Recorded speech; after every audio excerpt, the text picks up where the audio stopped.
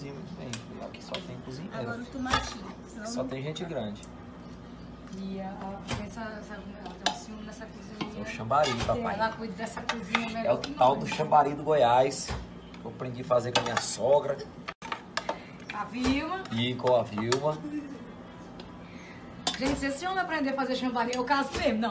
Não, ele falou que vai casar com você, que Não, não, não. vai fazer com você. Você precisa. Não, não, gente. Pe- Peraí. Peraí, então, peraí, Peraí, fazendo. peraí, não sei o que tô fazendo. Eu não aprendi ainda. Olha.